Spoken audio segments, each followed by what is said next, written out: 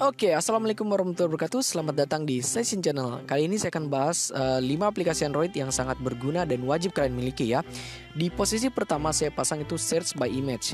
Aplikasi ini sama dengan Google Lens yang fungsinya mencari informasi berdasarkan gambar ya.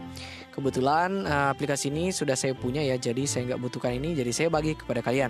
Kalian pilih aplikasinya untuk mendownloadnya, kalian bisa download di Play Store ataupun di deskripsi yang kami sediakan ya.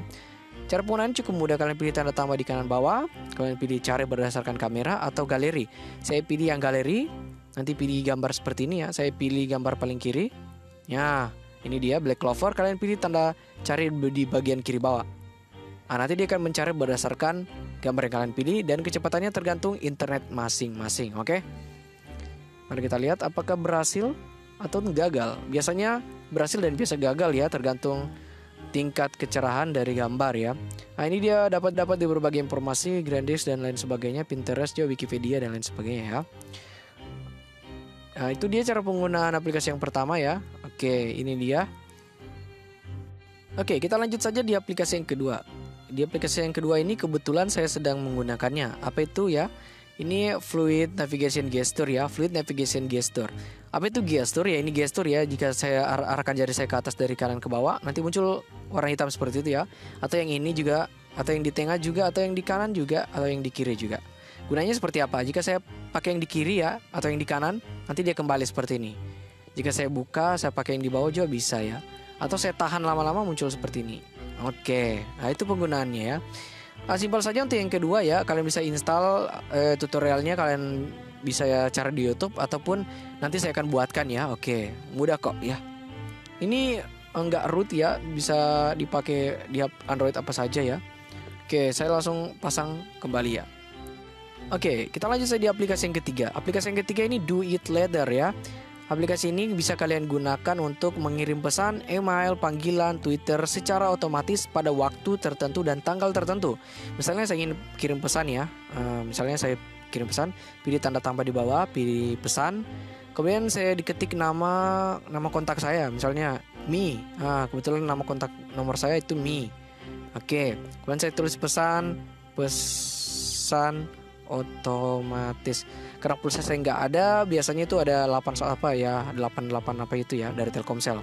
Kalian pilih kustomisasi untuk waktu tertentu ya kustomisasi. Kalian pilih tanggal tertentu yang ini ya nah, kebetulan tanggal 13 sekarang ya tanggal 13 saya pilih kemudian jamnya kemudian jam 16 lewat eh jam 9 lewat 16 saya pilih waktu spesifik. Kemudian saya atur oh kebetulan jam 9 jam 9 saya pilih. Kemudian saya atur detiknya ke 17 ya atau 18 18 mana ini 18 oke kalau saya pilih oke. Kemudian kalian pilih tanda checklist di atas atau bisa atur suara bisa atur ulangi. Tanyakan sebelum dikirim juga bisa kalian atur ya yang ini. Jika sudah selesai kalian bisa pilih tombol checklist di atas kanan. Oke. Nah nanti pesannya akan terkirim pada jam 3 jam 9 lewat 18 ya Nanti saya akan percepat video ini. Oke, ini dia beberapa 5 detik dari sebelum dikirim ya. Oke, kita lihat. 3 2 1. Oke, dia akan beroperasi. Dia akan mengirim. Nah, kebetulan pulsa saya nggak ada jadi yang balas itu 88774 ya. Oke, saya kira itu penggunaan aplikasinya ya. Kemudian aplikasi yang keempat yaitu Cam Scanner. Nah, apa itu Cam Scanner? Nah, seperti yang kalian eh, namanya ya, kamera scanner ya. Kalian bisa scan sesuatu hanya berdasarkan kamera ya. Misalnya saja kalian scan buku apa ya. Uh, misalnya saya foto di sini ya. Foto uh, saya pindahkan kaki saya. Foto. Uh, nanti dia akan menyesuaikan uh, lurusnya ataupun uh, lebar kertasnya. Nanti dia akan atur sesuai yang kalian inginkan ya. Kemudian saya pilih berikutnya. Nanti tampil seperti ini. Dia sesuaikan juga warnanya ya. Ajaibnya dia bisa sesuaikan warna-warna yang kalian gunakan ya sangat bagus ya untuk digunakan di kertas ya untuk mencari teks. Kalian pilih tanda checklist jika sudah selesai. Nah, saya kira sampai sini saja ya. Dia gampang kok. Kalian bisa pilih tanda PDF di atas, kalian bisa bagikan ke teman kalian atau simpan di Android kalian ya. Saya simpan, misalnya simpan di mana mana saja ya. Di ISO game pilih, oke sudah tersimpan. Buktinya kita buka file manager ISO game dan ini PDF-nya baru kita buat ya. Pilih drive saja, eh, WPS hanya sekali. Nanti tampil seperti ini yang tadi kita buat. Oke, saya kira seperti itu ya. Kemudian Oke, kita lanjut di aplikasi yang kelima yaitu namanya FuView. Uh, FuView ini aplikasi yang sangat saya suka ya, karena dia fungsinya hampir sama dengan punyanya iPhone ya, yaitu ikon-ikon kecil seperti ini ya. Uh, gunanya seperti apa? Uh, bisa merekam teks seperti ini. Ah, nanti dia akan ambil teksnya, bisa di kalian translate secara langsung. Ya, FuView itu apa? Nanti dia akan translate seperti ini. Jika kalian punya Google Translate ya. Oke.